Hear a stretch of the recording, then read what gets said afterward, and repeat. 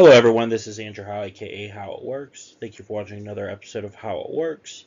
Today I'm going to be telling you how to be able to turn off Microsoft Defender, um, or aka Windows Defender, that's built into Windows 10 and Windows 11. Also going back to 8 as well. If you're using a Pro version of Windows or a Enterprise version of Windows, then this video is for you.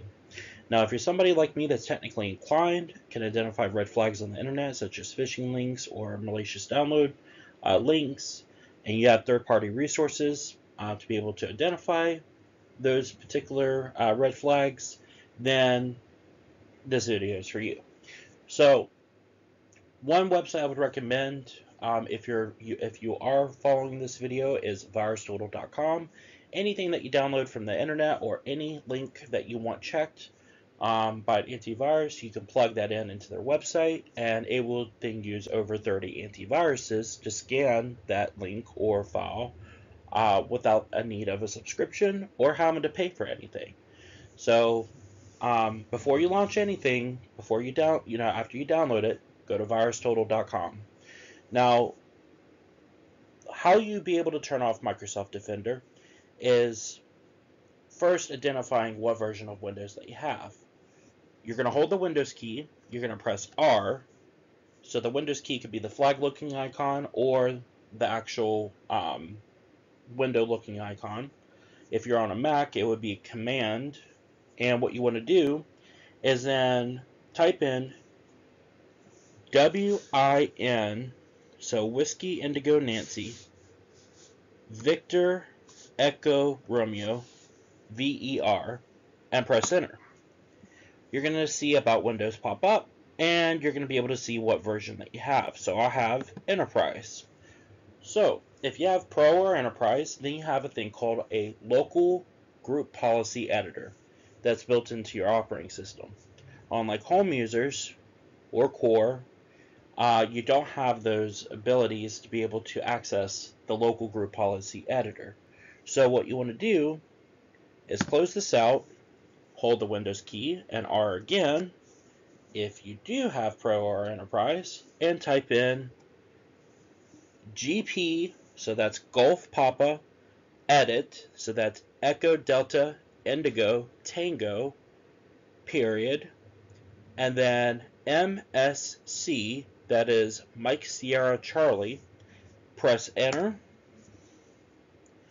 expand the local group policy editor window, extend the sidebar a little bit to where you can be able to see everything, and then you'll see computer configuration, and then you're going to see administrative templates. So you're going to click the drop down arrow, and then you're going to go down to where it says Windows Components, click that drop down arrow again, scroll down until you see Microsoft Defender Antivirus.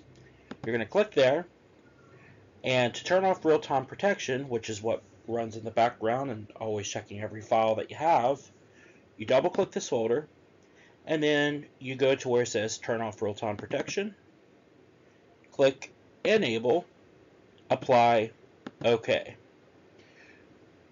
So, as you would go down to manage settings under virus and threat protection settings, you're going to notice real-time protection is not disabled and it says by your administrator, which is you. So having that turned off helps save on system resources like CPU and RAM. Now, a couple of other things I also do is I go back and then Microsoft Defender Antivirus. I go down and it says allow anti-malware service to start up with normal priority. I'll double click here and then I select disabled, apply, OK. Then I go to turn off Microsoft Defender Antivirus and I would say enable, apply, OK. And then I go down to here, allow anti-malware service to remain running always.